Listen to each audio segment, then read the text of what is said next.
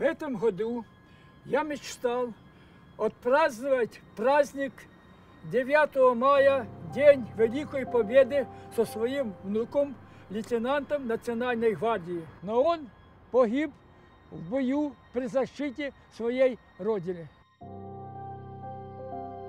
Мой внук часто говорил, что я тоже буду защищать так, как мой дед защищал.